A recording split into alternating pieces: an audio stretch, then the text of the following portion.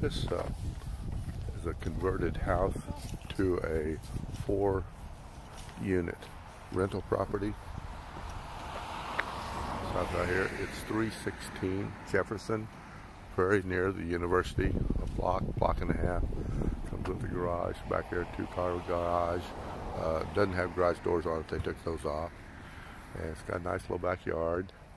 And it's in a rental area. You see there. A rental unit. There's a rental unit. And the university is just behind those houses about a block. Here's a little closer view of that garage. And then they have a fence here that kind of separates this side from the other, still in the on the same property. This is one entrance to the upstairs. There's upstairs apartment, one bedroom, and two one bedrooms down the uh, lower level.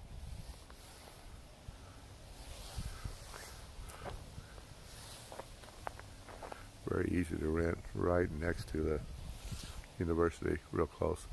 Um, three bedroom on the main floor, and then three one bedroom apartments. Right now, from what she's charging, she has about a net of about uh, 1450 or 1425 a month. And this is the other side of the house. Has central air and central heat, but the upstairs apartment you can see there has a window air conditioner in it. Uh, it doesn't really, when it's really warm, it, uh, the central air, uh, they'd have to freeze out people in the lower levels, uh, so they put a little unit up there so it keeps it cool, but that little, little unit helps it and uh, makes it real comfortable. This big old stump, they took out a big tree right here. This is a, you see here on your left here, this is a little drainage area right in here. And they've gone all around the backyard to make sure the water uh, goes around and doesn't come in the yard.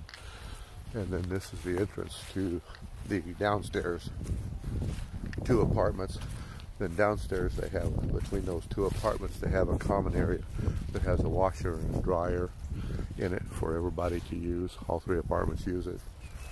Okay, and so this is the other side of that entrance to the upstairs apartment. Has a nice uh, kind of a closed, enclosed porch there.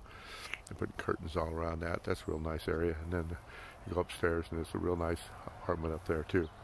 So anyway, that's kind of your outside. And I'll shoot an inside here uh, probably tomorrow, the next day, and we'll have that available too.